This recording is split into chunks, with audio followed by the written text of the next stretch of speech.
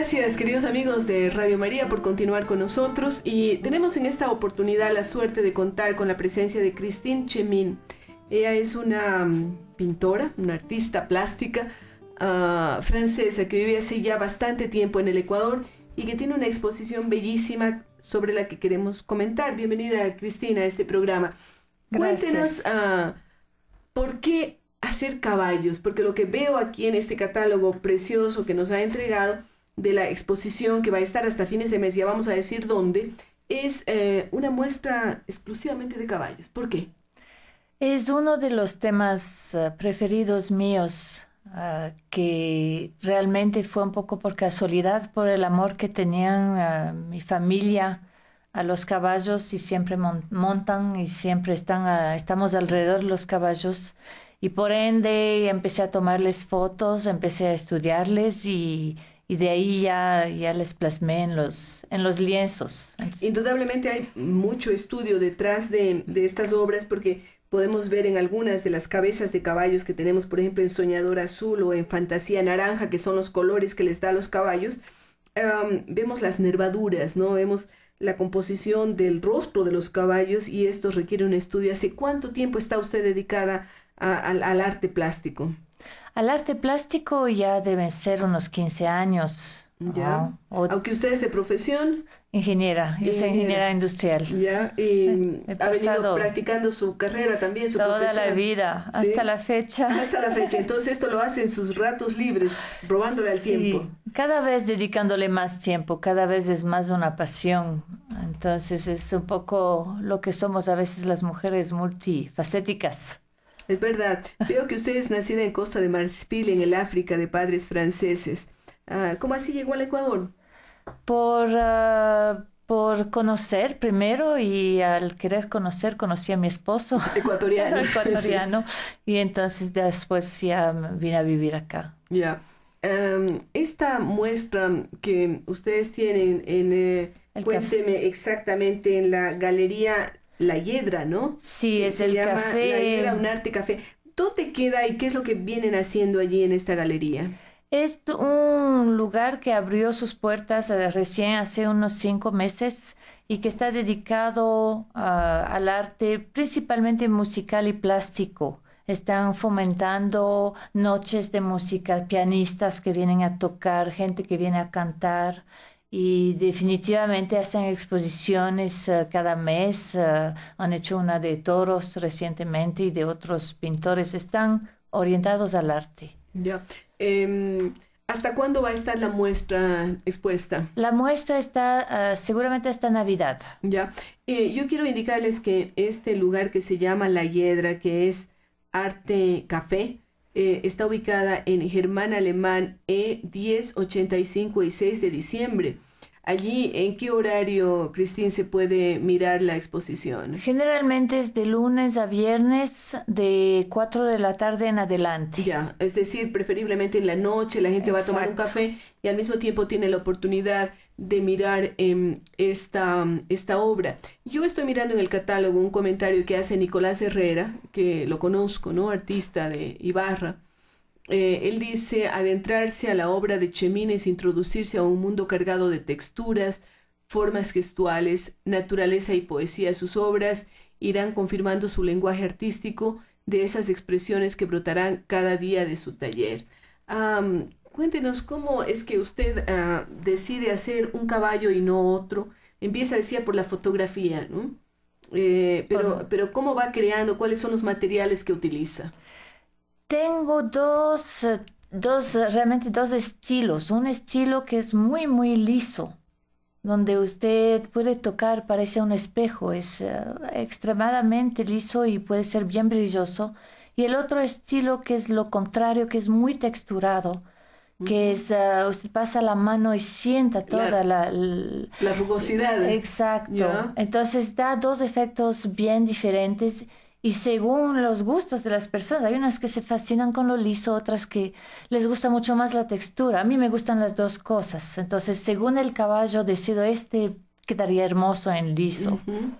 oh. ¿Aprendió sobre caballos? Aprendí bastante. Sí. Es decir, a, diferenciar entre uno, un caballo de paso fino peruano o un caballo árabe o un caballo criollo, un ruano, en fin. Logro a diferenciar, pero más que eso, ah, los comportamientos. Entiendo mucho mejor uh, por qué hacen ciertas cosas ¿no? Ah, cómo se comportan con sus chiquitos, cómo se comportan en grupo con los seres humanos, cuando están asustados, cuando están enojados. Eso he aprendido más del comportamiento que de las razas me ha fascinado eh, eso. indudable. Eh, las, eh, los materiales que utiliza. Acrílico, todo, trabajo en acrílico. Y en algunos casos, como decía usted, liso y en otros con, con, la textura, pero siempre acrílico. Siempre con acrílico y otros materiales, porque yo hago también a veces collage, trabajo texturas que pueden tener otros materiales adentro, pero la base es el acrílico y el lienzo. ¿Usted aprendió a hacer, em, a ser pintora? Yo fui autodidacta muchísimos años, llegué a frustrarme porque era un ensayo constante y hace, uh, hace unos pocos años tomé, estuve en el taller de Antonio Arias. Ya, maravilloso maestro Arias, sí. Un maestro que realmente enseña, que me explicó de, lo, de, los materiales, lo que yo trataba de buscar en los libros. a solucionar los problemas. sí, los técnicos definitivamente. Sí, y, luego de eso ha hecho otros cursos, otras... Eh, Cada vez que puedo hago cursos o por lo menos me reúno con los, eh, con los artistas como es el Nicolás. Ah, Nicolás Herrera. El Miguel Betancourt me ha ayudado, entonces con ellos voy aprendiendo un poco más. ¿Ha hecho exposiciones eh, fuera de Quito o por ahora solamente aquí? en Cuenca. Ah, en Cuenca, muy bien, en mi sí, hice en la, la universidad, ahí en Cuenca. Uh, hice en el municipio también de Cuenca. Hice, en Guayaquil participé en julio al, a la Bienal que hubo del Museo Novoa. Ahí participé, no, no gané, pero fui, mis cuadros fueron expuestos en el museo, lo cual ya fue. Ya es importante, sí. sí. Y, y, bueno, algún rato a lo mejor regresa por Francia o por Costa de Marfil con sus caballos. Algún rato, pero me gusta aquí, entonces primero... Primero aquí en, Quito y en, este país que es el suyo.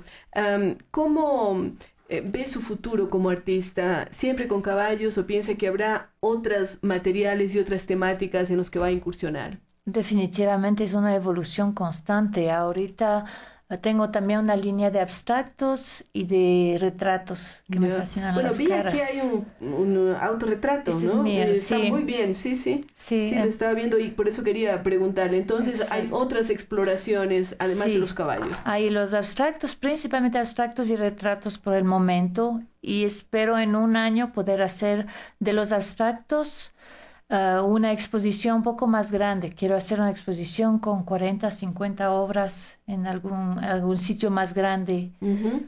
Bueno, Quito ventajosamente tiene muchos escenarios, la propia Casa de la Cultura con sus diferentes salas y eh, otros espacios en los que frecuentemente se hacen exposiciones. La mm, eh, búsqueda permanente de mejorar, de expresar con mayor calidez lo que, lo que usted percibe, le ha hecho buscar formas de expresión yo veo en, la portada del catálogo está un ojo de caballo. ¿Cómo, está, ¿Cómo llegar a esos detalles?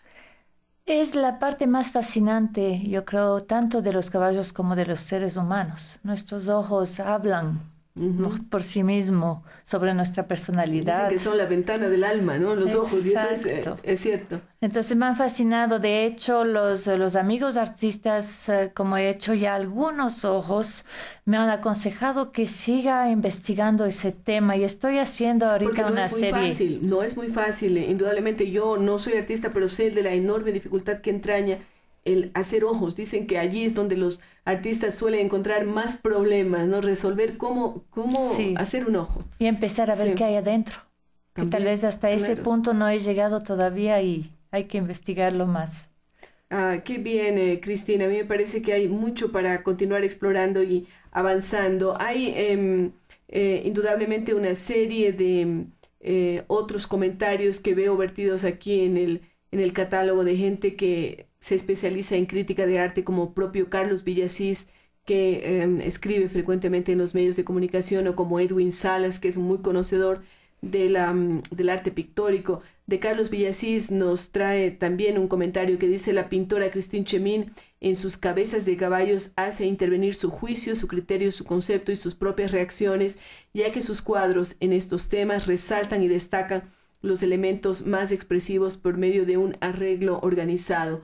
Um, Cristín, ¿cómo compatibilizar por un lado el tema de la ingeniería industrial y por el otro el arte pictórico y por supuesto llevar adelante la familia?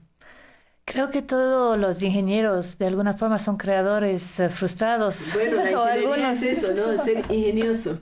Entonces tiene mucho que ver. La tecnología tiene cada vez más que ver con el arte también, porque nos permite adelantar en vez de dibujar a veces con un lápiz, el bosquejo, se puede utilizar la computadora, se puede investigar, toda la información está a la mano. Ahora es mucho más fácil que antes, sí. Los temas conceptuales, todo se investiga.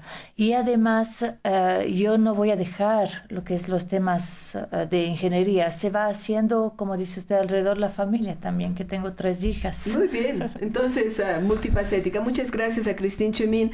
Nos ha traído su calidez humana, nos ha traído sus catálogos, queremos agradecérselo y por supuesto invitarles, queridos amigos, todos quienes nos escuchan, los que viven en Quito, la suerte de poder ir a la Galería La Hiedra, Arte y Café y quienes vienen a visitarnos en Quito, pues de pronto se dan su tiempito y vienen y se dan una pasada por esta galería para que vean estos increíbles caballos de Cristín Chemín. Gracias Cristín y con ustedes queridos amigos, hasta eh, después de unos breves momentos cuando regresamos con otros invitados.